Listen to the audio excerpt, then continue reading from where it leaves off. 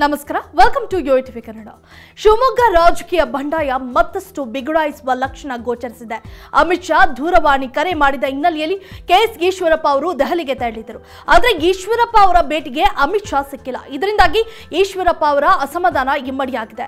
ಇದಕ್ಕೆ ಕಾರಣ ಏನು? ಸದ್ಯ ಅವರು ಭೇಟಿಯಾಗದ ಕಾರಣ ಇದೀಗ ಮೋದಿ ಬಂದು ಹೇಳಿದ್ರು ಕೂಡ ನಾನು ಕಣದಿಂದ ಹಿಂದೆ ಸರಿಯುವುದಿಲ್ಲ ಅಂತ ಈಶ್ವರಪ್ಪ ಗುಡುಗಿದ್ದಾರೆ. ಏಕೆ? ಅಮಿತ್ ಶಾ ಅವರನ್ನು ಭೇಟಿಯಾಗಲು ಹೋದಾಗ ಏನಾಯ್ತು ಗೊತ್ತಾ? ಈ ವರದಿಯನ್ನ ಕಂಪ್ಲೀಟ್ ಆಗಿ ನೋಡಿ. ಹೌದು, ಕೇಂದ್ರ ಗೃಹ ಸಚಿವ ಅಮಿತ್ ಶಾ ಅವರು ಬಿಜೆಪಿ ನಾಯಕ ಕೆ ಎಸ್ ಈಶ್ವರಪ್ಪ ಅವರನ್ನು ದೆಹಲಿಗೆ ಕರೆಸಿಕೊಂಡಿದ್ರು.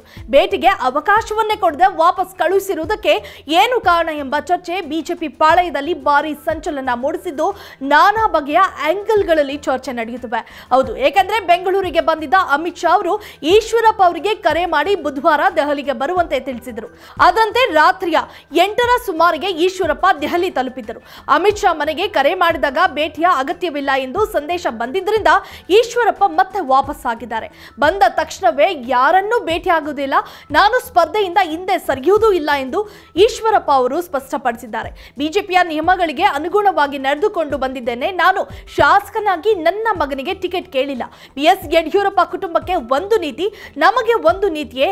ಅವರ ಮನೆಯಲ್ಲಿ ಒಬ್ಬ ಸಂಸದ, ಮತ್ತೊಬ್ಬ ಶಾಸಕ ಕೂಡ ಇದ್ದಾರೆ. ಶಾಸಕರಾದವರು ಬಿಜೆಪಿ ರಾಜ್ಯಾಧ್ಯಕ್ಷ ಬೇರೆ ಆಗಿದ್ದಾರೆ. ಇದಕ್ಕೂ ಮೊದಲು ರಾಯಣ್ಣ ಬ್ರಿಗೇಡ್ ಮಾಡಿದವು. ಬಿಎಸ್ವೈ ಅವರು ಬೆನ್ನು ತಟ್ಟುವ ಬದಲು ಅಮಿತ್ ಶಾ ಅವರಿಗೆ ದೂರು ನೀಡಿದರು ಅಮಿತ್ ಶಾ ಅವರ ಮಾತು ಕೇಳಿ ಸಂಘಟನೆ ನಿಲ್ಲಿಸಿದೆ. ಆದರೆ ಈಗ ಹಿಂದಡಿ ಇಡಲ್ಲ. ಎಲ್ಲರ ಸಹಕಾರದಲ್ಲಿ ನಾನು ಚುನಾವಣೆ ಗೆದ್ದು ಮೋದಿ ಅವರ ಕೈ ಬಲಪಡಿಸುತ್ತೇನೆ ಎಂದು ಈಶ್ವರಪ್ಪ ವಿಶ್ವಾಸ ವ್ಯಕ್ತಪಡಿಸಿದ್ದಾರೆ. ಇದೇ ವೇಳೆ ನರೇಂದ್ರ ಮೋದಿ, ಅಮಿತ್ ಶಾ ಅಲ್ಲ, ಬ್ರಹ್ಮ ಬಂದು ಹೇಳಿದ್ರು ಕೂಡ ಪಕ್ಷೇತರ ಅಭ್ಯರ್ಥಿಯಾಗಿ ಚುನಾವಣೆಯಲ್ಲಿ ಸ್ಪರ್ಧಿಸುತ್ತೇನೆ ಎಂದು ಬಂಡಾಯದ ಬಾವುಟ ಆರಿಸಿರುವ ಬಿಜೆಪಿ ನಾಯಕ ಕೆಎಸ್ ಈಶ್ವರಪ್ಪ ಅವರು ದೆಹಲಿಗೆ ಹೋದ್ರೂ ಕೂಡ ಬಿಕ್ಕಟ್ಟು ಶಮನಗೊಳ್ಳುವ ಲಕ್ಷಣಗಳು ಕಾಣಿಸಿಕೊಳ್ಳುತ್ತಿಲ್ಲ. ಅಮಿತ್ ಶಾ ಕರೆಯ ಹಿನ್ನೆಲೆಯಲ್ಲಿ ಈಶ್ವರಪ್ಪ ಅವರು ದೆಹಲಿಗೆ ತಳ್ಳಿದ್ದು ಬುಧವಾರ ಅಮಿತ್ ಶಾ ಅವರನ್ನು ಭೇಟಿಯಾಗಲು ಸಾಧ್ಯವಾಗಿಲ್ಲ. ಇದಾದ ಬಳಿಕ ಮೊದಲ ಪ್ರತಿಕ್ರಿಯೆ ನೀಡಿರುವ ಅವರು, ಕೇಂದ್ರ ಗೃಹ ಸಚಿವ ಭೇಟಿಗೆ ಸಿಕ್ಕಿಲ್ಲ, ನಾನು ಸ್ಪರ್ಧಿಸುವ ನಿರ್ಧಾರದಿಂದ ಹಿಂದೆ ಸರಿದಿಲ್ಲ ಎಂದಿದ್ದಾರೆ. ನಾನು ಯಡಿಯೂರಪ್ಪ ಕುಟುಂಬದ ವಿರುದ್ಧ ಹೋರಾಟ ಮಾಡುತ್ತಿದ್ದು, ಇದಕ್ಕೆ ಮೋದಿ ಮತ್ತು ಶಾ ಅವರ ಬೆಂಬಲ ಸಿಗಲಿದೆ. ಏನೇ ಆಗಲಿ ಬಿವೈ ವಿಜಯೇಂದ್ರ ಅವರನ್ನು ರಾಜ್ಯಾಧ್ಯಕ್ಷ ಸ್ಥಾನದಿಂದ ಇಳಿಸಲೇಬೇಕು ಎಂದು ಈಶ್ವರಪ್ಪ ಹೇಳಿದ್ದರು. ಈಶ್ವರಪ್ಪ ಅವರನ್ನು ದೆಹಲಿಗೆ ಕರೆಸಿ ಮಾತನಾಡಿ, ಸಮಸ್ಯೆ ಇತ್ಯರ್ಥ ಮಾಡಲು ಅಮಿತ್ ಶಾ ಬಯಸಿದರು. ಆದರೆ ತಾವು ವಿಶ್ವಾಸದಿಂದ ನೀಡಿದ ಆಹ್ವಾನವನ್ನು ಅತ್ಯಂತ ಲಘುವಾಗಿ ಪರಿಗಣಿಸಿ ಹೇಳಿಕೆ ನೀಡಿದ್ದಾರೆ. ಇದು ಸರಿಯಲ್ಲ. ಇನ್ನೆಂದಿಗೂ ಅವರನ್ನು ಭೇಟಿ ಮಾಡುವುದೇ ಇಲ್ಲ ಎಂದು ಹೇಳಿದ್ದಾಗಿ ಮೂಲಗಳು ತಿಳಿಸಿವೆ. ದೆಹಲಿಯಿಂದ ವಾಪಸ್ಸಾದ ಈಶ್ವರಪ್ಪ ಅವರು ಅಮಿತ್ ಶಾ ಅವರು ಸಿಗುವುದಿಲ್ಲ ಎಂದು ಹೇಳಿದ್ದಾರೆ.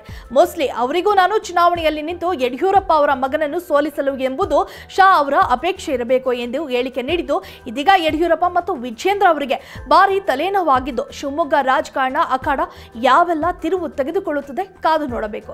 If you like this video ಬೇಗ ಲೈಕ್ ಮಾಡಿ ಕಾಮೆಂಟ್ ಮಾಡಿ ಶೇರ್ ಮಾಡಿ ಹಾಗೂ ಯೋಯೋ ಟಿವಿ ಕನ್ನಡವನ್ನು ಸಬ್ಸ್ಕ್ರೈಬ್ ಮಾಡಿ.